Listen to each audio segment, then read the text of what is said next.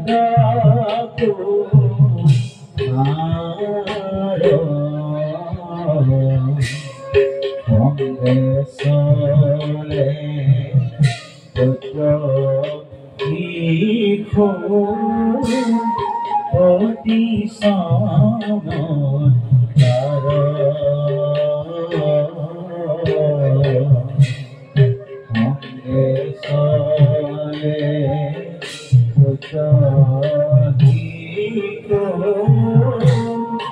धरती सामत क्या है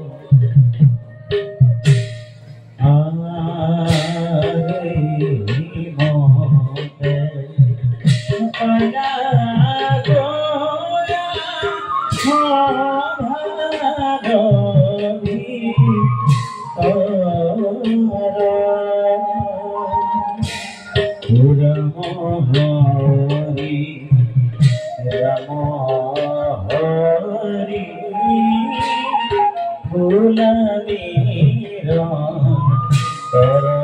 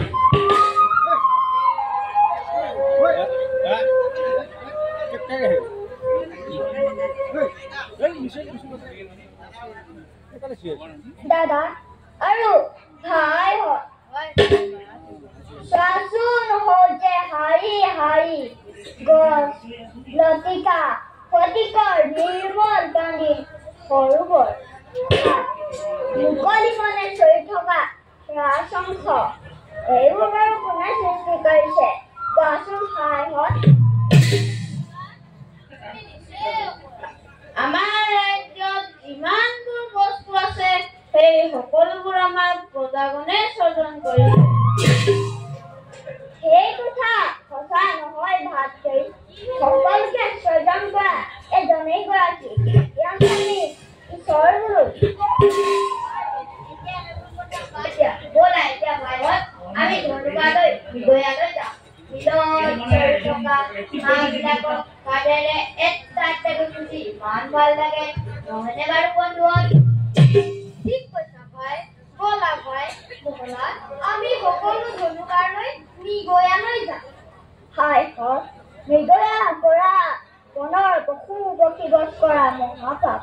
তোমাক মোক যিজন ঈশ্বৰে স্বজন কৰিছে সকলো পশু পক্ষীবিলাককো তেওঁৱে স্বজন কৰিছে। গতিকে ভাইহঁত ঈশ্বৰে স্বজন কৰা সকলো জীৱকে নিজৰ জীৱন দিন জ্ঞান কৰিব লাগে। তোমাকনো এইবোৰ কথা কোনে শিকালে? এইবোৰ কথা চিন্তা কৰিলে নিজেই শিকিব পাৰি।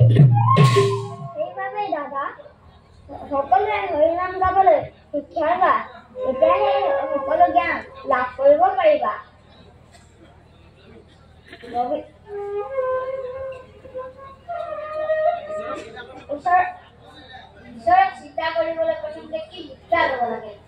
জগতকৰ্তা ঈশ্বৰক চিন্তা কৰিবৰ কাৰণে তেওঁৰ অনন্ত মহিমা কীৰ্তন কৰিব লাগে।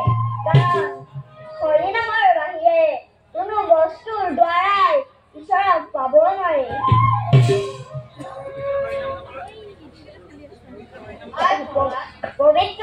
গাবলৈ সকলোৱে উৎসাহ লোৱা তেতিয়াহে সকলো জ্ঞান লাভ কৰিব পাৰিবা।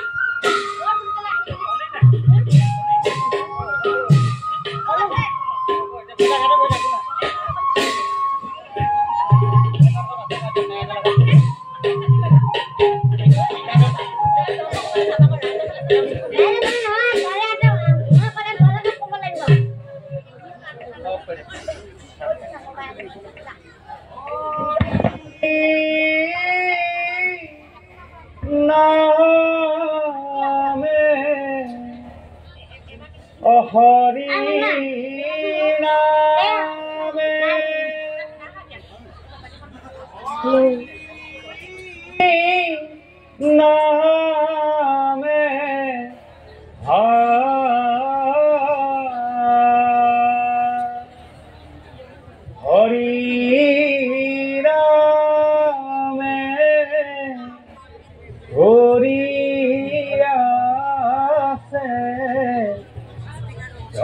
এই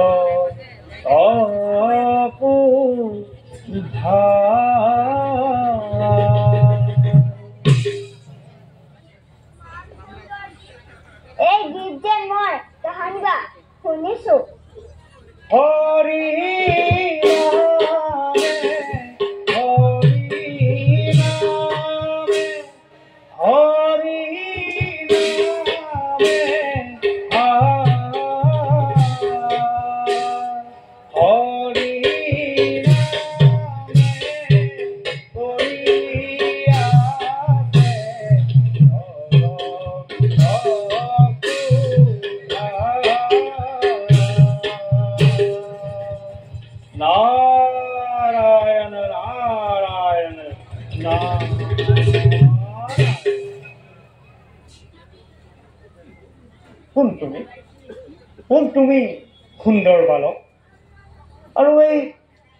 মাজে অকলে অকলে কি কৰিছা? মই দৈত্যৰাজ হিৰণ্য কশিপুৰৰ পুত্ৰ। অ। মোৰ নাম প্ৰহ্লাদ। প্ৰহ্লাদ। আপুনি বাৰু কোন? আপোনাৰ মুখৰ গীতবিলাক মোৰ ইমান ভাল লাগে। মোকো বাৰু এনে গীত শিকাই দিবনে? অ নাৰায়ণ। বাছা প্ৰহ্লাদ। আহা। এই দেখোলা বাছা প্ৰহ্লাদ। মই হলো এজন সন্যাসী ফকীৰ। যাৰ খাবলৈ এমুঠি অন্ন নাই যাৰ পিন্ধিবলৈ এখনি বস্ত্ৰ নাই তেনে লোকেহে হৰি কীৰ্তন কৰি ভাল পায়। তুমি হলা ৰজাৰ পুত্ৰ তোমাক আকৌ হৰি নামৰ কি আৱশ্যক বাধা ৰজাৰ ল'ৰা হ'লে হৰিনাম গাব নাপায় বুলি আপোনাক কোনে ক'লে অ নাৰায়ণ নাৰায়ণ ৰজা পুত্ৰ হলেও তুমি হৰি কীৰ্তন কৰিব পাৰে সঁচা। কিন্তু তুমি হলা তুমি হলা ত্ৰিভুৱন বিজয়ী হিৰণ্য কশিপুৰ পুত্ৰ। তোমাৰ পিতৃ তোমাৰ পিতৃ হৰিৰ মহাশত্ৰু। সেয়েহে বাচা হৰি কীৰ্তন কৰিলে তোমাৰ পিতৃয়ে তোমাক খং কৰিব নহয়। মোৰ পিতৃয়ে ঈশ্বৰক মহাশত্ৰু বুলি ভাবিছে কিয়? তেওঁকো জানো একেজন ঈশ্বৰে স্বজন কৰা নাই নাৰায়ণ নাৰায়ণ তোমাক মোক সকলো প্ৰাণীকে একেজন ঈশ্বৰী স্বজন কৰিছে কিন্তু এই কথা তোমাৰ পিতৃয়ে মানি নলয় ইয়াত সোমাই থাকিলে ক'বা দেখিবা কাৰণ হৰিনাম হৰিনাম লোৱা শুনিলে তেওঁ ক্ৰোধত একদম উন্মাদ হৈ পৰে। তাৰ কাৰণে আপুনি চিন্তা কৰিব নালাগে। মই মোৰ পিতৃক বুজাম তেওঁ মোৰ কথা নিশ্চয় শুনিব কাৰণ তেওঁ মোক বৰ মৰম কৰে নাৰায়ণ নাৰায়ণ বাৰু প্ৰহ্লাদ হ'ব তেন্তে মই তোমাক দুই চাৰিটা গীত শিকাই দিম আমি তেন্তে তীৰলৈকে যাম গছজোপা তলতে তোমাক দুই চাৰিটা গীত শিকাই দিম হ'বনে আপুনি বাৰু মোৰে চিনি পায়নে অ' নাৰায়ণ আহ, এই- এই- এই কথা তুমি কিয় সুধিলা প্ৰহ্লাদ কাৰণ মই যেতিয়া আই গৰ্ভত আছিলো তেতিয়া আপোনাৰ শুৱলা গীত মাত কিনা জংকাৰ মই শুনিছিলো নাৰায়ণ নাৰায়ণ উম, নাৰায়ণ এ, প্ৰহ্লাদ মই তোমাক কৈছোৱেই যে মই দেশে বিদেশে ভ্ৰমি ফুৰা এজন সন্যাসী ফকীৰ এ, ক'ৰবাত হয়তো তুমি শুনিবও পাৰা। আমি এতিয়া পলম নকৰোঁ হা? ব'লা। সৌ সৰুবতীলৈকে যাওঁ। তোমাক তাতে মই গীত গাবলৈ শিকাম। হ'বনে? ভাল গুৰুদেৱ বাৰু প্ৰহ্লাদ তুমি কোৱাচোন তুমি হৰিক চিনি পোৱা নে? গুৰুদেৱ অ প্ৰথমে হৰিক চিন্তিবলৈ হৰিচৰণত আশ্ৰয় ল'ব। হৰিলকে হৰিচৰণত আশ্ৰয় লোৱাকে হৰণ বুলি কয়। হৰণৰ হৰণৰ উপদেশ শাস্ত্ৰটো আছে। যে হৰিত হৰণ লয়া যিটো জন।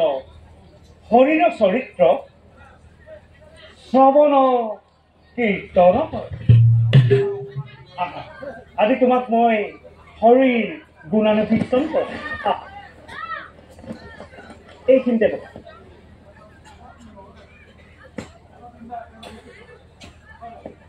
हट चुके संत भुजग शयन पद्मनाभं सुरेशं विश्वधारं गगानसदीशं मेघवर्णम् शुभङ्गम् लक्ष्मीकान्तम् कमलनयनम् योगिर्विद्यानधन्ना वंदे विष्णुभवाभयानम् सर्वलोके जनाथम् हरि হরি ওম হরি হরি ওম হরি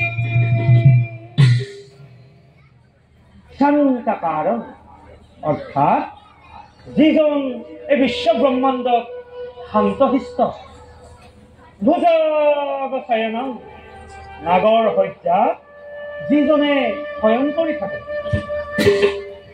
পদ্ম নাভম যাৰ নাভিৰ পৰা পদ্ম বিৰাজনা সুৰেশম অৰ্থাৎ যিজনেই সুদৰ্শনৰ ঈশ্বৰ বিশ্বধাৰক সকলো বিশ্বতে ব্যাপি থকা সদন অৰ্থাৎ আকাশৰ দৰে নিৰ্মূল মেঘ বৰ্ণন যাৰ বৰণ দেখিবলৈ মেঘৰ দৰে। শুভাংগম অৰ্থাৎ যিজন ব্যক্তিৰ প্ৰত্যেক অংগ প্ৰত্যংগই দেখিবলৈ অতি সুন্দৰ। লক্ষ্মীকান্তন সেইজনে হ'ল লক্ষ্মীৰ প্ৰতীক কমলনয়নম অৰ্থাৎ যাৰ নয়নজুৰি দেখিবলৈ পদুমৰ দৰে যোগীৰ বিদ্যানগণ্যম। সৰ্বশ্ৰেষ্ঠ যোগী মহাযোগীসকলতকৈ তেওঁ সৰ্বশ্ৰেষ্ঠ যোগী। বন্দে বিষ্ণু ভৱ ভয়হাৰণম সেইজন সেইজন বিষ্ণুক আমি কৰো প্ৰণাম সকলো জীৱৰে তেওঁ ঈশ্বৰ। এতিয়া বুজি জানে প্রহ্লাদ শুনা। এ শুনা পূর্ণ হরি নমো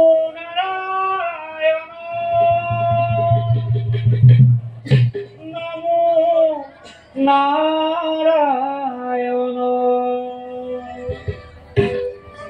পাৰিবানে গাব? উঠা। গোৱাচোন। নমো নাৰায়ণ।